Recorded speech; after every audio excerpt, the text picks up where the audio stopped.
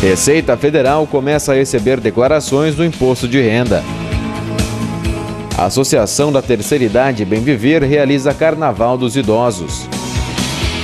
Obras do Parque de Exposição Jaime Cane Júnior para a Expobel já estão em fase de conclusão. Isso e muito mais você confere agora no Edição Regional.